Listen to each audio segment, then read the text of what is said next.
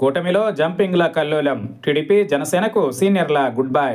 వచ్చే ఎన్నికలలో అధికార వైఎస్ఆర్ కాంగ్రెస్ పార్టీని ఎదుర్కొనడానికి తెలుగుదేశం పార్టీ జనసేన భారతీయ జనతా పార్టీతో కట్టిన కూటమి ప్రభావం సీనియర్లకు టికెట్లు లేకుండా చేస్తోంది. సుదీర్ఘ కాలంగా పార్టీకి విధేయులుగా నిత్యం ప్రజల మధ్య ఉంటూ వచ్చిన నాయకులు పొత్తుల వల్ల సీట్లు టికెట్లను కోల్పోవాల్సి వస్తోంది. టీడీపీ జనసేనకు చెందిన పలువురు సీనియర్ నాయకులు ఆశావహులు మాజీ ఎమ్మెల్యేలు తమ అసంతృప్తిని వ్యక్తం చేస్తున్నారు. Sivaramaraju Mudaraboina Venkateswara Rao K. Appalanaidu Yanamala Krishnudu KS Jawahar JD Rajasekhar Pothina Mahesh వంటి నాయకులు తిరుగుబాటు బాట పట్టారు. ఇండిపెండెంట్గా పోటీ చేయడానికి రంగం సిద్ధం చేసుకుంటున్నారు. ఈ క్రమంలో టీడీపీ సీనియర్ నేత ఏలూరు లోక్సభ మాజీ సభ్యుడు మాగంటి బాబు పేరు సైతం వినిపిస్తోంది. ఈ సార్వత్రిక ఎన్నికలలో పోటీ చేయడానికి ఆయనకు టికెట్ దక్కని విషయం తెలిసిందే.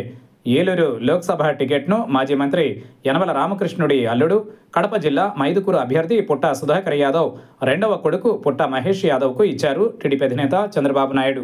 అదే ఏలూరు టికెట్ వ్యవహారం టీడీపీలో చిచ్చుపెట్టింది ఏలూరు లోక్సభ ఇన్ఛార్జి జి గోపాల్ యాదవ్ టీడీపీకి గుడ్ బై చెప్పారు. ఇన్ని సంవత్సరాలుగా తాను ఇన్ఛార్జిగా టీడీపీని బలోపేతం చేయడానికి ఎంతో కష్టపడ్డానని ఆర్థికంగా నష్టపోయానని అన్నారు. టికెట్ దక్కుతుందనే ఉద్దేశంతో అన్నీ భరించానని అన్నారు.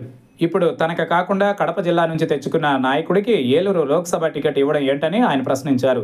తెలుగుదేశం పార్టీకి గుడ్ బై చెప్పారు. ప్రాథమిక సభ్యత్వానికి రాజీనామా చేశారు. అనంతరం తాడేపల్లి క్యాంప్ కార్యాలయంలో ముఖ్యమంత్రి వైఎస్ జగన్మోహన్ రెడ్డి సమక్షంలో వైసీపీలో చేరారు. ఆయన చేతుల మీదుగా పార్టీ కండువా కప్పుకున్నారు.